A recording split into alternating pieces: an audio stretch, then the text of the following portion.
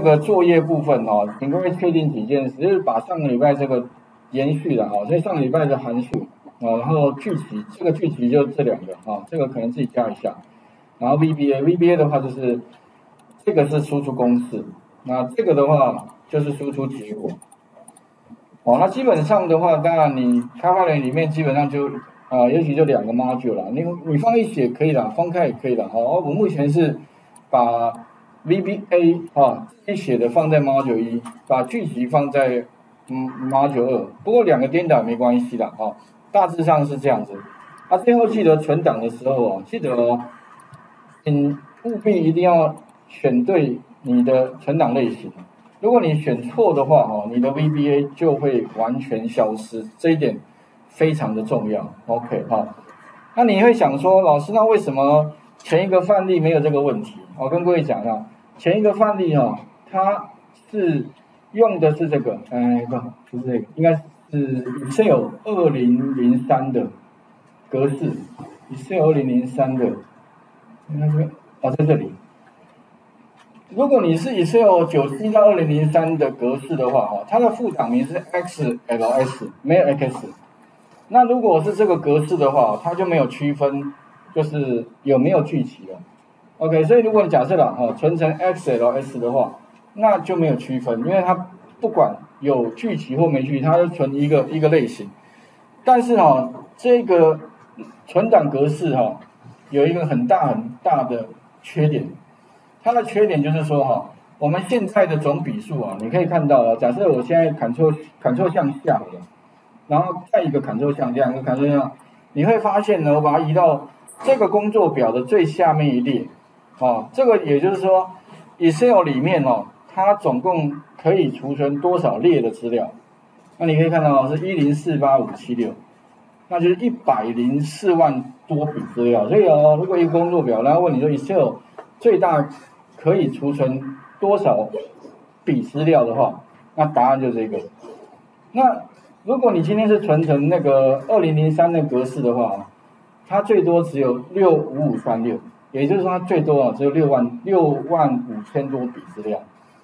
哎，那如果六万五千多笔的话啊，假设你将你将来在处理资料，六万多笔其实说真的应该是非常不够。可是，一百多万笔来处理资料，应该对于中小企业的应用应该就蛮足够。哦，差别在这个地方。啊，另外顺便问一下大家了哦，哎，如果我想知道，那蓝的话呢，比如说你向右哈，当然你不要傻傻的一直一直向右了，砍错向右就好了。砍错向右呢，那就可以得到你的最右边那一栏。也就是说呢，如果人家问你说，哎，请问一下，Excel 里面呢，到底最右边可以储存到多少栏？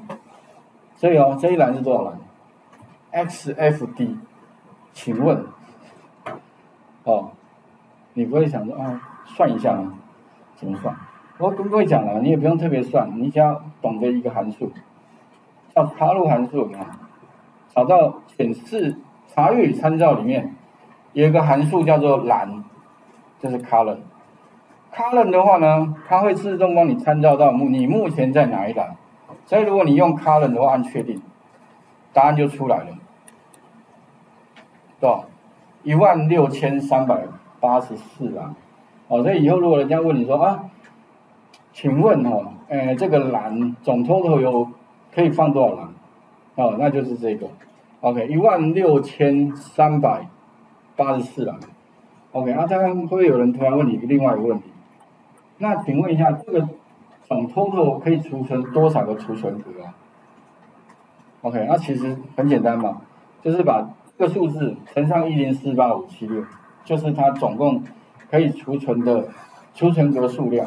OK，哈，应该有这个概念的。不过这个数字，我想你们自己有兴趣自己再去再。不过这只是大家有概念就可以了哈。好，那是新旧版的差异哈，所以今天的那个作业基本上好就是这一个。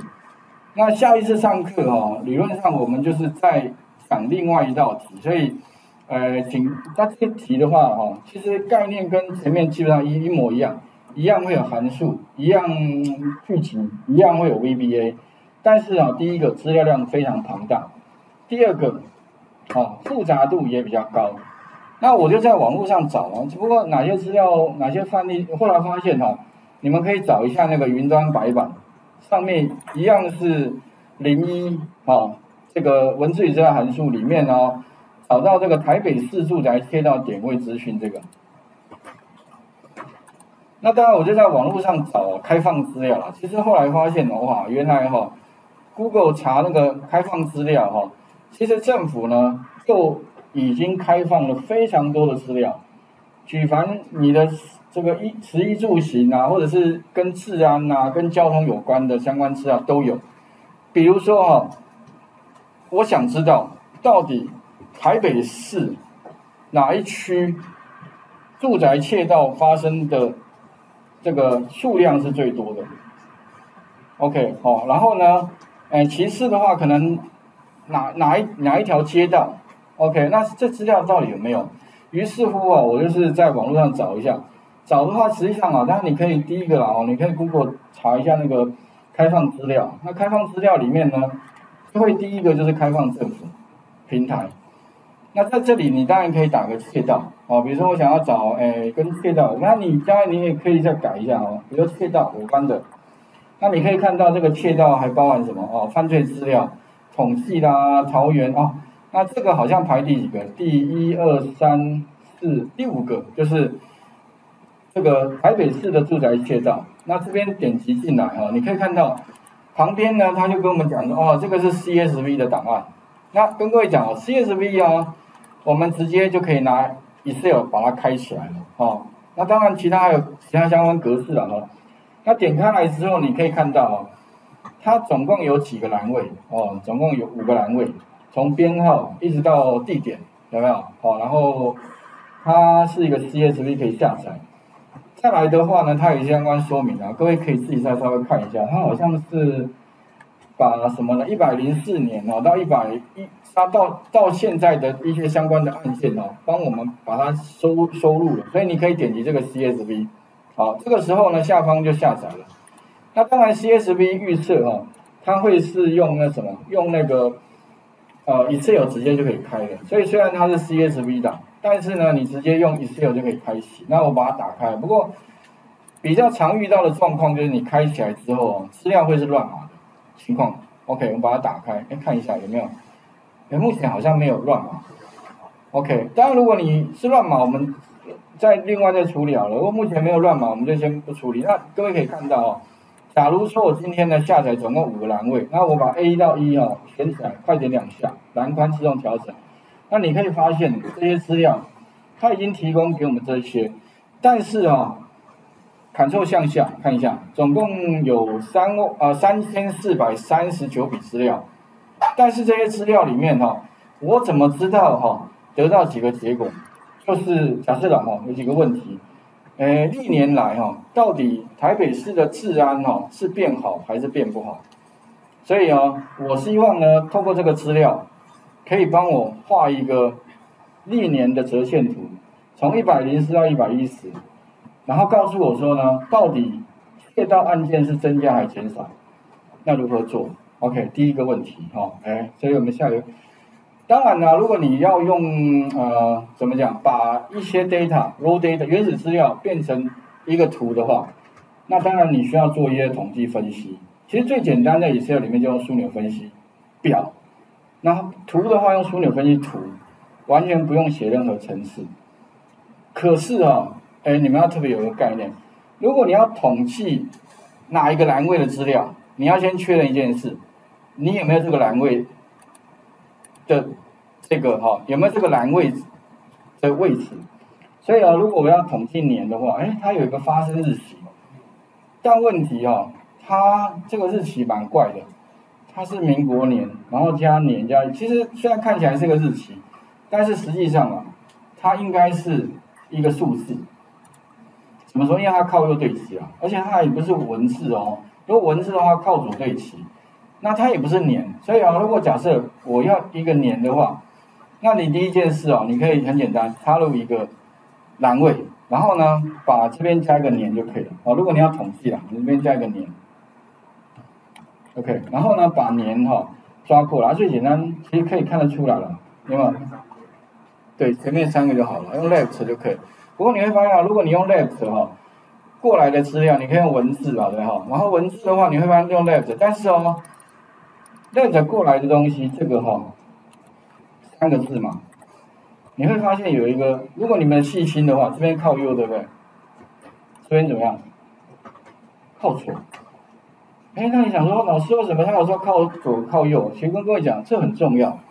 他已经告诉你了，这个是数字，但是因为经过 left，它是文字函数，所以它会取得的是一百零三的文字哦。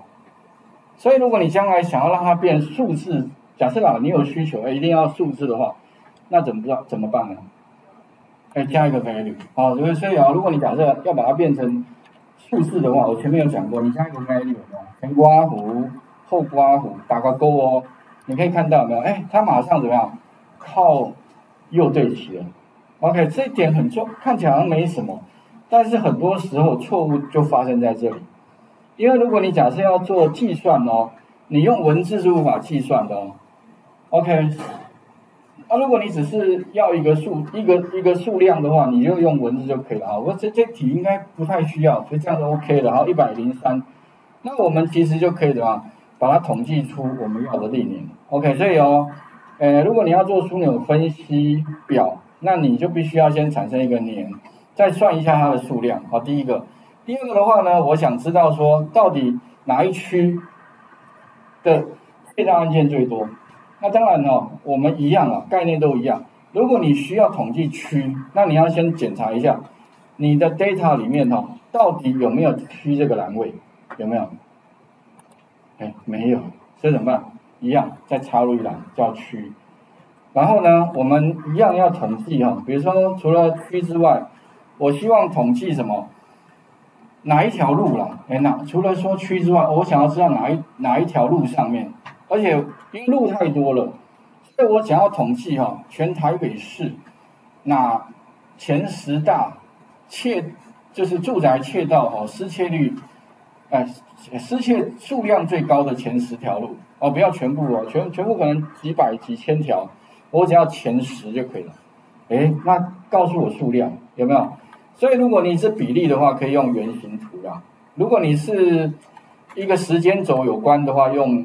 折线图有没有啊？如果你只是数量的话呢，那你给我一个直条图就可以。哎，所以哦，下一次上课了哈，基本上就是利用呃原始资料啊，当然这边还是需要用到函数啦、具体啦、VBA，然后加枢纽分析表、枢纽分析图。